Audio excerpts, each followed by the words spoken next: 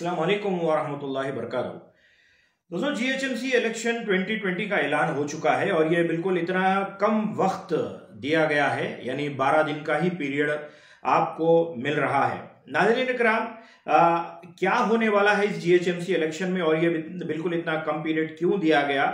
اس سلسلہ میں ہم بات کریں گے۔ سب سے پہلے میں اس بات کی وضاحت کر دوں کہ چاہے کارپوریٹر کا الیکشن ہو یا ایم ایل اے ہو یا جو بھی ہو عوام کے لیے گزشتہ کئی سالوں سے میدان میں اگر کسی نے آگے بڑھ کر اگر آواز اٹھائی ہے تو وہ سیاسی جماعتوں نے نہیں بلکہ غیر سیاسی تنظیموں نے بڑھ چڑھ کر کام کیا۔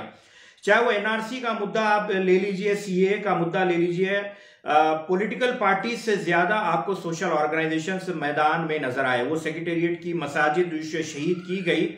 اس سلسلے میں بھی جو مومنٹ کھڑا تھا، وہ بھی غیر سیاسی مومنٹ تھا۔ چاہے وہ امبر پیٹ کی مسجد کی شہادت ہو یا پھر حالیہ دنوں میں حیدرآباد فلڈز ہو، اس میں بھی نان گورنمنٹ آرگنائزیشنز نے بڑھ چڑھ کر کام کیا۔ سیاسی جماعتیں تو صرف اور صرف فوٹو کھچوانے کے لیے آئی آپ لاک ڈاؤن میں کورونا کے وقت بھی دیکھ لیجیے نان پولیٹیکل آرگنائزیشنز یعنی این جی اوز اور این پی اوز نے آگے بڑھ کر بڑھ چڑھ کر کام کیا۔ عثمان نگر کے اندر جو پانی ٹھہرا ہوا ہے، وہاں کا بھی دیکھ لیجیے۔ یا پھر موئن آباد کے اندر ایک معصوم لڑکی کے ساتھ جو ریپ کا واقعہ ہو، یا پھر شمشاباد میں ڈاکٹر کا ریپ کا واقعہ ہو، یا پھر بیگم بازار میں جو خبرستان کے پاس ٹوائلٹس کی بات ہو۔ ایسے بہت سے مدے ہیں جہاں پر عوام نے آواز اٹھائی ہے کیونکہ اپوزیشن کو ختم کر دیا گیا تھا۔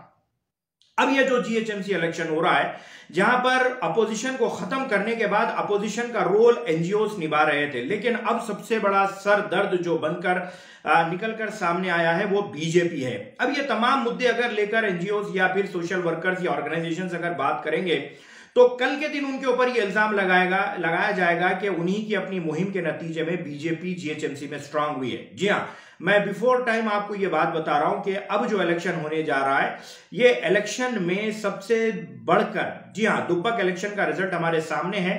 بی جے پی بہت ہی سٹرانگ انداز میں ابھر کر آنے والی ہے، کیونکہ بھوپیندر یادو کو اس کا کیمپین کی ذمہ داری دی گئی ہے جو کہ رام جنم بھومی ٹرسٹ کے وائس پریزیڈنٹ ہے۔ بہار الیکشن میں بھی انہوں نے اپنا کرشمہ دکھایا تھا، جہاں پر انہوں نے اپنی ہی خود ساتھی پارٹی جی ہاں ساتھی پارٹی جے ڈی یو کو کمزور کیا، لیکن اب ان کے قسمت خراب تھے کہ جے ڈی یو کا ہی چیف منسٹر نتیش کمار بن کر سامنے آیا۔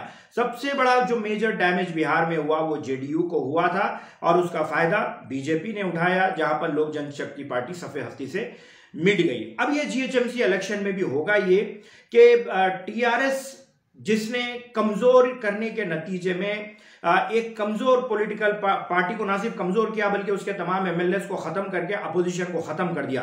لیکن یہ قدرت کا قانون ہے کہ جہاں پر آپ کسی کمزور کو ختم کرتے ہیں، تو آپ کا ہی ایک مضبوط دعوے دار جی ہاں آپ سے اسٹرانگ آدمی آپ کے ساتھ ایک مضبوط دعوے دار بن کر ٹھہرے گا، جو کہ مرکز میں اپنی حکومت رکھتی ہے بی جے پی۔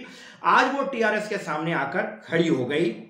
کانگریس کو ختم کرنے کے نتیجے میں۔ جی ہاں اور یہی B J P G H M C کو نہ صرف پرانا شہر بلکہ نئے شہر کے اندر سب سے بڑا ڈیمیج کرتے ہوئے نظر آ رہی ہے۔ میرا ویڈیو آپ اٹھا کر رکھ سکتے ہیں۔ الیکشن کے بعد ہم لوگ اسے دیکھیں گے۔ جس طرح لاسٹ الیکشن میں دعویٰ کیا گیا تھا کہ سو سیٹ ہم لائیں گے، اس مرتبہ ایسا کوئی دعویٰ کرنے والی بات نہیں ہے۔ بھلے الیکشن بیلٹ پر ہو رہا ہے اور بہت سے لوگ اس مرتبہ نوٹا کا بٹن دبانے کی بات بھی کر رہے ہیں۔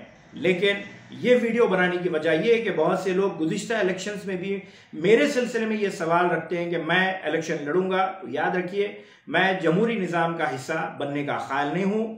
لہٰذا نہ میں نے چودہ میں الیکشن لڑا تھا، نہ میں نے پندرہ میں الیکشن لڑا چاہے جی ایچ ایم سی کا ہو، نہ میں اس مرتبہ الیکشن لڑوں گا، نہ میں مستقبل میں کسی الیکٹرول پروسیس کا حصہ بنوں گا۔ ہاں یہ بات ضرور ہے کہ دو ہزار چودہ سے پہلے جس وقت کانگریس رولنگ میں تھی، اس وقت میں نے آواز ضرور اٹھائی تھی حکومت کی پالیسیز کے خلاف۔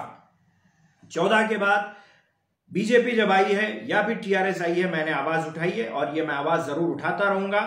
اور ہم آواز اٹھانے والوں کا بہت بڑا گروپ ہے۔ ہم ضرور آواز اٹھائیں گے، لیکن ہم الیکٹرول پروسیس کا حصہ نہیں بنیں گے۔ ہاں آپ بھی اگر ووٹ کرنا ہے تو سوچ سمجھ کر ووٹ کیجیے، کیونکہ آپ کا ووٹ بی جے پی کو سٹرونگ کرنے والا نہ بنے، نہ آپ کا ووٹ ایسے کینڈیڈیٹ کو جائے جسے آپ نے پانچ سال سے اپنا سردرد بنائے رکھا ہے۔ تو لہذا ایسے امیدواروں کو ووٹ دیجیے جو نہ بی جے پی کے لیے ہو، نہ ہی آپ کے پانچ سال سے جو سردرد بنا ہے ان کے لیے ووٹ ہو۔ آپ ایسے کو ووٹ کیجیے جس کا اگر کوئی پولیٹیکل بیک گراؤنڈ نہ بھی ہو، اگر وہ آپ کے لیے میدان میں رہا ہے، تو ایک موقع ضرور آپ اسے دیجیے۔